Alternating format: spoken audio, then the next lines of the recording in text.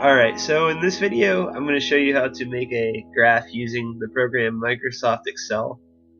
What you can do is you can start up here in uh, cell A1. I'm going to go ahead and type in my x variable, which is time, and as well as my unit in parentheses, seconds. Then in uh, B1 I'm going to go ahead and type in velocity, which is measured in meters per second. If you want, you can uh, double click the vertical line by the letters and those will actually resize your column to fit all your data. And then I'm just going to go ahead and enter my values here. Uh, these can be any values you have um, depending on what you're measuring in your lab. Uh, so we'll just go ahead and put some numbers in here that represent free fall acceleration over time.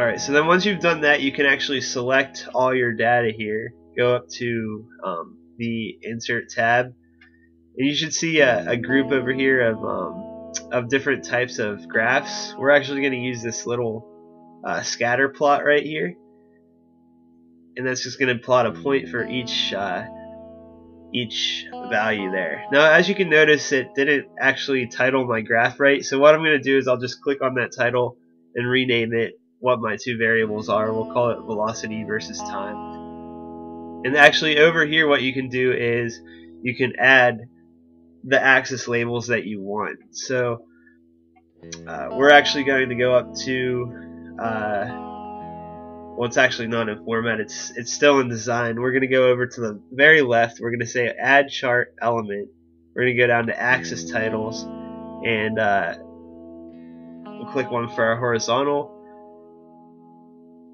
Again, we'll name that time in seconds. And then we're just going to go ahead and add one for the vertical up there add chart element.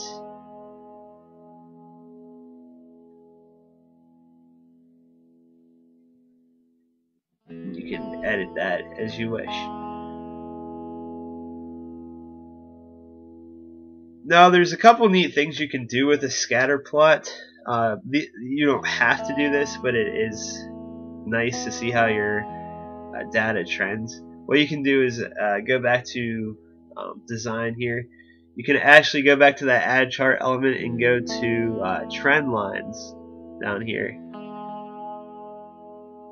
And uh, what that will give you is you can you actually go to more trend line options. You can choose several different kinds of trend lines, whether your uh, graph is linear, uh, logarithmic, or polynomial as you can see when I try to do uh, logarithmic it won't let me because uh, it's not part of the function. So let me just go ahead and bring those uh, trendline options back up here.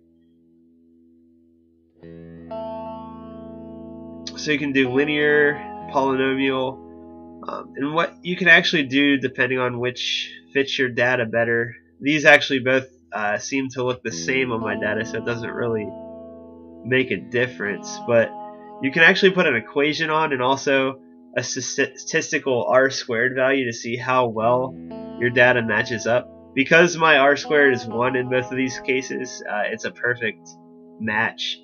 Um, I should have used uh, more off values to show you that that r squared value might be a decimal, but whichever one's closest to the 1 is the one you're going to use.